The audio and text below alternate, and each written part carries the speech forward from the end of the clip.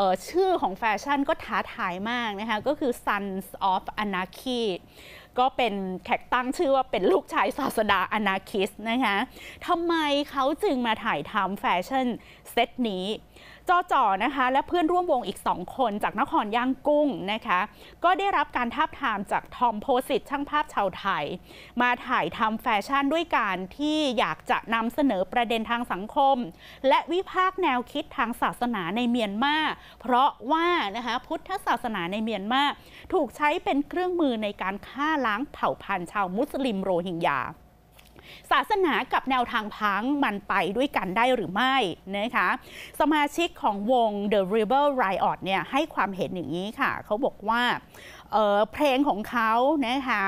ได้รับการพูดถึงอย่างกว้างขวาง คือเพลงที่ประท้วง พระสงฆ์ขบวนการ 969 นำโดยวิรทูซึ่งเผยแพร่คำสอนสร้างความเกลียดชังและนำมาสู่การฆ่าชาวโรฮิงญาสนับสนุนการใช้ความรุนแรง ความเห็นของเขาก็คือผู้คนที่นี่บ้าคลั่งศาสนา พร้อมจะฆ่าผู้อื่นได้ทุกเมื่อ มันน่าเศร้า เพราะว่าประเทศเราส่วนใหญ่นับถือพุทธศาสนา ซึ่งพุทธศาสนาเป็นศาสนาแห่งสันติ สอนให้คนรักกันแต่ผู้คนกลับทำในสิ่งที่พระพุทธเจ้าไม่ได้สอนเอาไว้นะคะเพราะฉะนั้น